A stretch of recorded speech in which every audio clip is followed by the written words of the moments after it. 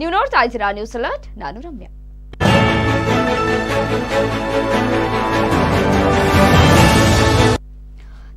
ಜಿಲ್ಲೆಯ ಸಮುದ್ರಹಳ್ಳಿಯ ಮನೆಯೊಂದರಲ್ಲಿ ಹದಿನೈದು ವರ್ಷದ ಬಾಲಕಿ ಶವ ನೇಣು ಬಿಗಿದ ಸ್ಥಿತಿಯಲ್ಲಿ ಪತ್ತೆಯಾಗಿದ್ದು, ಮೃತಳ ತಂದೆ ವಿರುದ್ಧವೇ ಆಕೆಯ ಅಜ್ಜ ಪೊಲೀಸ್ ಠಾಣೆ ಮೆಟ್ಟಿಲನ ಏರಿದ್ದಾರೆ. ರಾಜಣ್ಣ ಎಂಬುವರ ಪುತ್ರಿ ಚಂದ್ರಿಕಾ ಮೃತ ದುರ್ದೈವಿಯಾಗಿದ್ದಾಳೆ. ಈಕೆ ತಾಯಿ ಕೆಲ ದಿನಗಳ ಹಿಂದೆ ಮೃತಪಟ್ಟಿದ್ರು ತಂದೆ ಜೊತೆಯಲ್ಲಿ ಚಂದ್ರಿಕಾ ವಾಸವನ್ನ ಮಾಡ್ತಾ ಇದ್ರು. ಇನ್ನು ಒಂಬತ್ತನೇ ತರಗತಿ ಓದ್ತಾ ಇದ್ದಂತಹ ಆಕೆ ಶಾಲೆಗೆ ರಜೆ ಇದ್ದ ಕಾರಣ ರಾಮನಗರ ಜಿಲ್ಲೆಯ ಅಜ್ಜನ ಮನೆಯಲ್ಲಿ ಇದ್ದಳು. ಇತ್ತೀಚೆಗೆ ಶಾಲೆ ಆರಂಭವಾದ ಹಿನ್ನೆಲೆಯಲ್ಲಿ ತಂದೆ ಊರು ಸಮುದ್ರಹಳ್ಳಿಗೆ ಮರಳಿದ್ರು. ಆದ್ರೆ ಮಂಗಳವಾರ ನೇಣು ಬಿಗಿದ ಸ್ಥಿತಿಯಲ್ಲಿ ಮೃತಪಟ್ಟಿದ್ದಾಳೆ.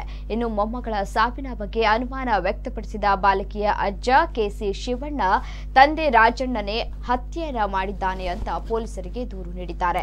ಇದೇ ವೇಳೆ ಮರಣೋತ್ತರ ವರದಿ ಬಂದ ಬಳಿಕ ಬಾಲಕಿ ಸಾವು ಆತ್ಮಹತ್ಯೆಯೋ ಕೊಲೆಯೋ ಎಂಬುದು ಗೊತ್ತಾಗಲಿದೆ ಅಂತ ಗ್ರಾಮಾಂತರ ಠಾಣೆ ಪೊಲೀಸರು ತಿಳಿಸಿದ್ದಾರೆ.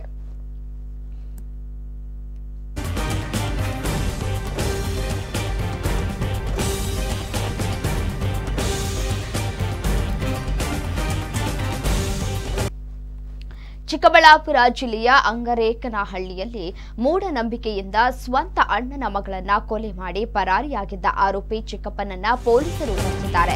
ಸದ್ಯ ಶಂಕರ್ ಬಂಧಿತ ಆರೋಪಿ ಚಿಕ್ಕಬಳ್ಳಾಪುರ ಜಿಲ್ಲೆಯ ಅಂಗರೇಕನಹಳ್ಳಿಯಲ್ಲಿ ಮನೆಯ ಮುಂದೆ ಆಟವಾಡ್ತಾ ಇದ್ದಂತಹ ಐದು ವರ್ಷದ ಚಾರ್ವಿಕಾ ಎಂಬ ಬಾಲಕಿಯನ್ನ ಅಪಶಕುನವೆಂದು ಭಾವಿಸಿ ಆತನ ಚಿಕ್ಕಪ್ಪ ಶಂಕರ್ ಬಾಲಕಿಯ ಗಂಟಲು ಸೀಳಿ ಕೊಲೆ ಮಾಡಿ ಪರಾರಿಯಾಗಿದ್ದ.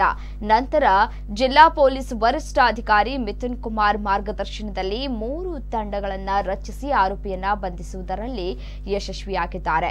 ಇದೇ ವೇಳೆ ವಿಕಲಚೇತನ ಬಾಲಕಿಯನ್ನ ಕೊಲೆ ಮಾಡಿದ ಆರೋಪಿ ಮೇಲೆ ಕಠಿಣ ಕಾನೂನು ರೀತಿಯ ಕ್ರಮವನ್ನ ಜರುಗಿಸಬೇಕು ಅಂತ ವಿಕಲಚೇತನರ ಸಂಘಟನೆಗಳ ಪದಾಧಿಕಾರಿಗಳು ಉಪ ಪದಾಧಿಕಾರಿಗಳ ಕಚೇರಿಯ ಮುಂದೆ ಪ್ರತಿಭಟನೆಯನ್ನ ನಡೆಸಿದ್ದಾರೆ.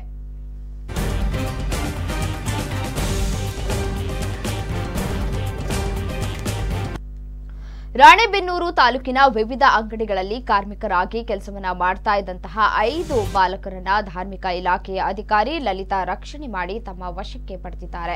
ಅಂದ ಹಾಗೆ ಕಿರಾಣಿ ಅಂಗಡಿ ಟೈರ್ ಅಲೈನ್ಮೆಂಟ್ ಮತ್ತು ಪಾದರಕ್ಷೆ ಅಂಗಡಿಗಳ ಮೇಲೆ ದಿಢೀರ್ ದಾಳಿಯನ್ನ ಮಾಡಿದಂತಹ ಅಧಿಕಾರಿಗಳು ಬಾಲ ಕಾರ್ಮಿಕರನ್ನ ರಕ್ಷಿಸಿದ್ದಾರೆ. ಇನ್ನು ಕಳೆದ ಒಂದು ವಾರದಿಂದ ಬಾಲ ಕಾರ್ಮಿಕರ ಪತ್ತೆಗಾಗಿ ಹತ್ತಾರು ಸ್ಥಳಗಳಲ್ಲಿ ಅಧಿಕಾರಿಗಳು ದಾಳಿಯನ್ನ ನಡೆಸಿದ್ರು. ಆದ್ರೆ ಯಾರೊಬ್ಬರೂ ಪತ್ತೆಯಾಗಿರಲಿಲ್ಲ. ಆದರೆ ನಿನ್ನೆ ರಾಣೆಬೆನ್ನೂರು ನಗರದಲ್ಲಿ ತಹಸೀಲ್ದಾರ್ ಬಸನಗೌಡ, ಕೊಟ್ಟೂರು ಮತ್ತು ಕಾರ್ಮಿಕ ನಿರೀಕ್ಷಕ ಪಿಜಿ ಬಾಲಾಜಿ ದಾಳಿಯನ್ನ ನಡೆಸಿದಾಗ ಐವರು ವಯಸ್ಸಿಗೆ ಬಾರದ ಮಕ್ಕಳನ್ನ ಅಂಗಡಿ ಮಾಲೀಕರು ದುಡಿಸ್ಕೊಳ್ತಾ ಇದ್ರು. ಹೀಗಾಗಿ ಕಾರ್ಮಿಕ ಇಲಾಖೆ ಅಧಿಕಾರಿಗಳು ಮಾಲೀಕರಿಗೆ ನೋಟಿಸ್ ನೀಡಿದ್ದಾರೆ. ಇನ್ನು ಜಿಲ್ಲಾ ಕಾರ್ಮಿಕ ಅಧಿಕಾರಿ ಲಲಿತಾ ಸಾತೇನಹಳ್ಳಿ ಕಾರ್ಮಿಕ ನಿರೀಕ್ಷಕ ಪಿಜಿ ಬಾಲಾಜಿ ಹಾಗೂ ರಾಣೆಬೆನ್ನೂರು ತಹಸೀಲ್ದಾರ್ ಬಸನಗೌಡ ಕೊಟ್ಟೂರು ದಾಳಿಯಲ್ಲಿ ಭಾಗಿಯಾಗಿದ್ರು.